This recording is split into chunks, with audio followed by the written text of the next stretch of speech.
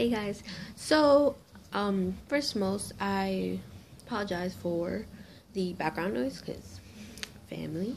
Um, so today I am going to talk about something called pharyngitis, and it's uh, what exactly it is. It's like something in the throat, and the reason why I decided to make a video about it is because I was diagnosed with pharyngitis during the weekend. So here are my tips and tricks to, you know, help. So the first thing is if you notice, um, hold on, got my notes.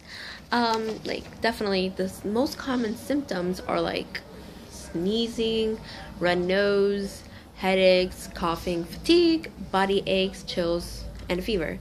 But more like more advanced symptoms are um like you're like glands are like a little swollen, like your lymph nodes, um, things like that. So I got my, I started developing mine about a week ago. Um, so basically, is like you're having a lot of like sore throats. Sorry, I just had to drink something to make sure my mouth didn't get too dry. But um, basically, started developing like last week and yeah. But yeah anyways like you have to be very careful. Like you can assume it's like a fever like a regular fever nothing much but you have to be very careful because it could be a virus or it could be bacterial. And mine is a virus. So um what i definitely recommend is that if you've been diagnosed with pharyngitis to definitely take things really easy like rest as much as you can. Like, yeah, you can continue a regular life, but you have to be like very careful. Like, if you feel tired, just stop if you can.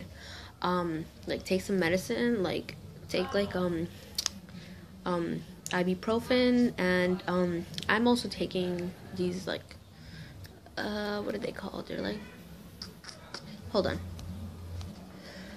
So these are called Longsane. I don't know. It's Cepacol extra strength. That's what I'm taking. It like helps um like relieves sore throat pain and it like numbs too, which is really good. Um, so it's really good. And um, of course ibuprofen as I have in here. Um, yeah.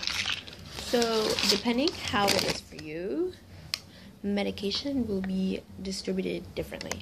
Um, for me, um, every six hours, I have to take one of these and three ibuprofen because normally I take two and nothing really happens. So that's what I've been doing.